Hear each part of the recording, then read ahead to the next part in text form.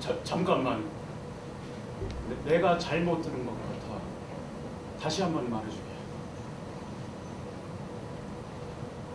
핀란드 말고 뭔가 다른 말을 했잖아. 바로 그거야. 자네가 영지를 간다고. 어. 자, 자, 잠깐만.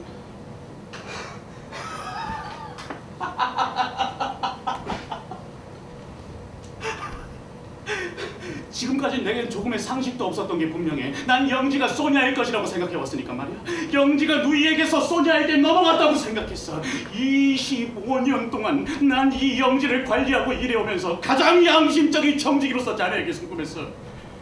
하지만 자네는 단한 번도 내게 고맙다고 한 적 없었지. 25년 동안 난내 어머니와 함께 새벽벽 속에 앉아 있었어. 우리의 모든 생각과 감정은 자네 한 사람에게 쏠려 있었지. 낮에 낮에 우리는 자네에 대해서 자네의 논문에 대해서 말했고 자네를 자랑스러워했으며 경건한 마음으로 자네 이름을 불렀지.